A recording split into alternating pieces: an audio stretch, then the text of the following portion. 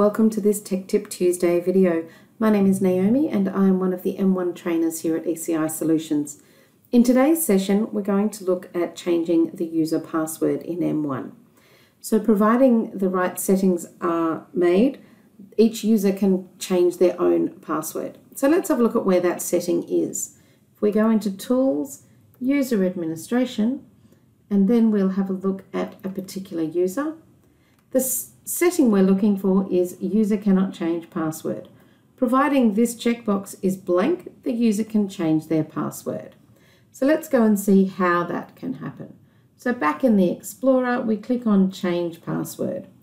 And quite simply, we type in our old password, and then we type in our new password. And we click on OK and we have now changed our password.